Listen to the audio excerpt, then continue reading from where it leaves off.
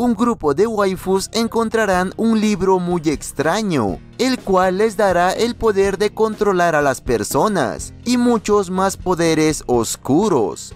Muy buenas amantes de la animación, hoy les traigo un resumen de uno de los mejores hidrógenos que hay, la saga de Bible Black. Con hidrógenos me refiero a los animes sagrados. Sin nada más que decir, empecemos.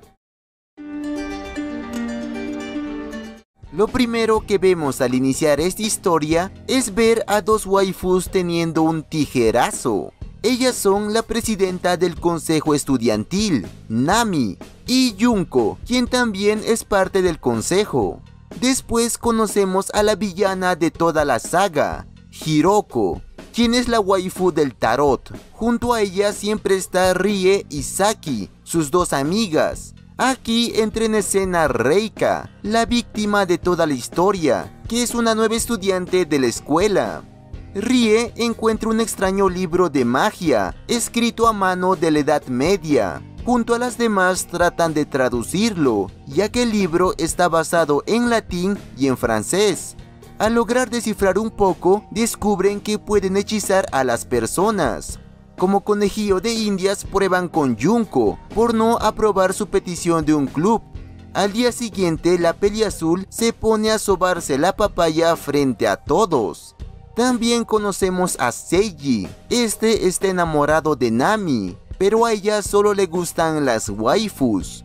Con el libro logran volver a la peli morada el saco de cemento de Seiji, Gracias a todos sus hechizos, la fama de las protas crece, teniendo su propio club y más integrantes.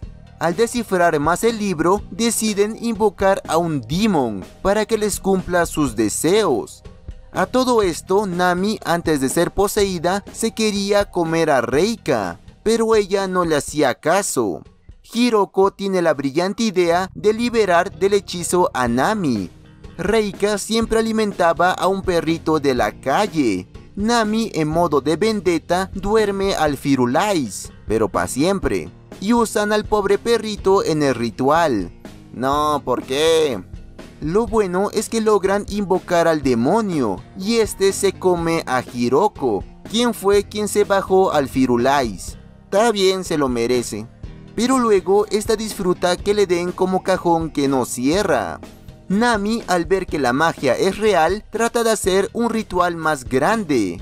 Pero esta vez necesitan a una waifu a la que nunca se la comieron. ¿Y quién mejor que Reika? La peli morada contrata unos matones para que se diviertan con la rubia. Nami les dijo que solo le den por el Anubis, por el anexo, por el ojo del cíclope. A los tipos les valió 20 hectáreas de pepino y se comieron a la waifu por todos lados.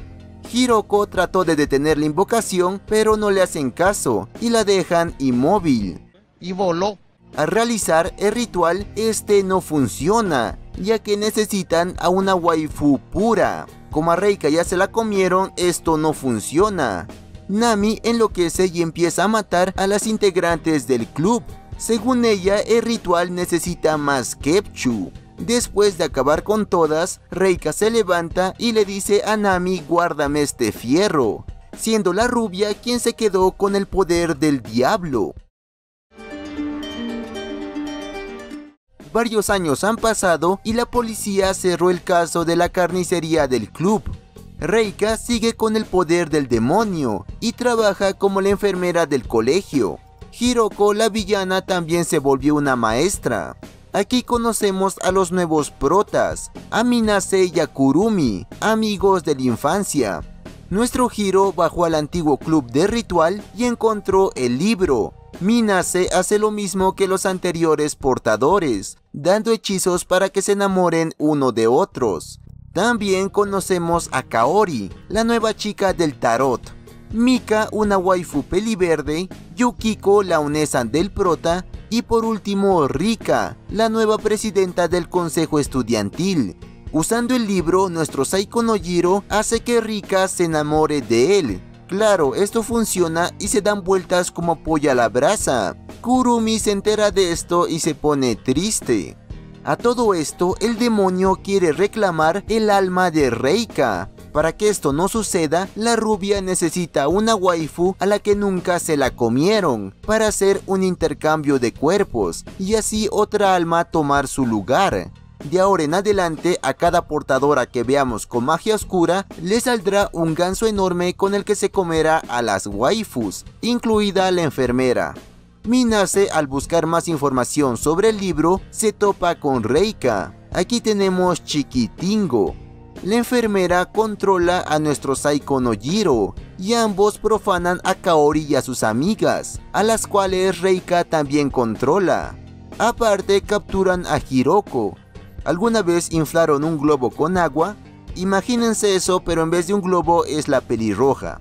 Está bien por ser mala, aún recuerdo lo que le hizo al perrito. El prota trata de salir del lado oscuro. De hecho, ayuda a Hiroko a escapar. Reika se da cuenta de esto y expulsa a nuestro héroe, no sin antes haberse comido a Kurumi por el Anubis, ya que ella será el nuevo cuerpo de Reika. También obliga a ver a Minase como otros tipos se comen a Kurumi. El prota llega donde Hiroko, se la come y juntos tratan de descifrar un hechizo del libro para detener los planes de la enfermera. A todo esto, Rika, que seguía enamorada de Minase a causa del hechizo, le dice guárdame este fierro. Pero es ayudado por la sensei pelirroja. Ahora sí, se dirigen al colegio y Minase empieza a recitar el hechizo. Reika trata de desconcentrarlo haciéndolo ver cómo profanan a su Onesan, pero eso no funciona y Minase termina el hechizo, y parece que todo acabó y la enfermera murió. Pero luego nos muestran que el hechizo sí funcionó, a lo que Kurumi y Reika comparten el mismo cuerpo. Por último, ella quema el libro de hechizos. Esta temporada nos cuentan qué pasó durante y después de la noche de Walpurgis, o sea, en Bible Black. Lo primero que vemos es a Hiroko. Ella aún recuerda cuando el demonio se la comió y procede a sobarse la papaya. Ahí aparece el subdirector, poseído por el mismo demonio, y se come a la sensei.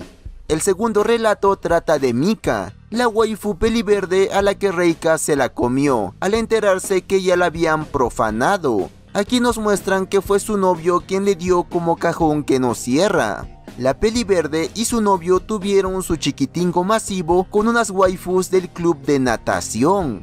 En la tercera historia vemos a Kaori, siendo profanada por sus compañeros. El cuarto relato trata también de Kaori y su grupo de amigas ya poseídas por Reika, consiguiendo chele para su ritual. La quinta historia va de Yukiko, la Onesan de Minase. Esta se pone muy eléctrica y junto a su sensei aumentan su árbol genealógico. El sexto y último relato trata de Hiroko, encontrando un dibujo de ella en un examen y se imagina a sus alumnos comiéndosela. En el capítulo especial de Imari, vemos como uno de sus compañeros le da como cajón que no cierra. Esto pasa después de Bible Black, ya teniendo el alma de Reika en el mismo cuerpo. Nuevamente han pasado varios años y no sabemos nada de Minase. Hay rumores de que se fue a estudiar a otra ciudad, pero no hay nada claro, aparte de ser mencionado y verlo en imágenes en esta temporada. Aquí nos cuentan que Hiroko se unió a la iglesia y ahora es una santa. Ella se dio cuenta de que el alma de Reika aún seguía en este mundo y la termina sellando y Mari vive de lo más normal con el alma de la enfermera dormida en ella. Y ahora es una detective que se dedica a investigar sucesos sobrenaturales. Ella trabaja para un calvo llamado Yuge y Aki, una novata. También tenemos a un policía llamado Yamanishi. La historia se desarrolla en tres grupos, el del calvo, de Reika y por último de Judy Crowley, descendiente de Aleister Crowley, quien fue un influyente oculista, místico, alquimista, escritor, poeta, pintor, alpinista y mago ceremonial inglés, que fundó la filosofía religiosa de Telema. A la miércoles, este tipo fue de todo. De lo que trata esta historia es que los tres grupos lucharán para tener una parte de la lanza de Longinus, con la cual podrán invocar a la verdadera Bible Black. También tenemos la participación de Rika, que ahora entrará como una nueva sensei, que en toda la historia solo será un saco de cemento. Al tratar de impedir el robo de un banco, el alma de Reika despierta. En aquel banco se encontraba un fragmento de la lanza de Longinus. Ese fragmento lo pone en la papaya de Aki, ya que ella será el recipiente con el cual invocarán al nuevo libro. Yodi también quiere a Aki para sus propios planes y así tener el poder del demonio. A todo esto pasan un montón de cosas, waifus que reviven, a un sensei lo controlan y lo ordeñan, este mismo se come una enfermera y luego quiere comerse a Aki, pero es salvada por Yamanishi. Este renuncia a su cargo al dar su informe, como la peli morada se curó de todas sus heridas como por arte de magia, así que se une al calvo. A todo esto vuelven a capturar a Hiroko y se la comen. Yamanishi recuerda que en su pasado conoció a Reika y aumentaron su árbol genealógico. Este también es capturado y controlado. Yodi quiere sacarse a todos de su camino y ataca a Hiroko. Esta logra imponerse, pero no por segunda vez. La pelirroja vuelve a ser capturada. El calvo le lleva unas flechas a Hiroko, con las cuales podrán destruir el libro. En el lugar del ritual hay un chiquitingo masivo. El hechizo concluye y el demonio por poco se lleva las almas de Yodi y Reika. Pero el libro es destruido por el calvo.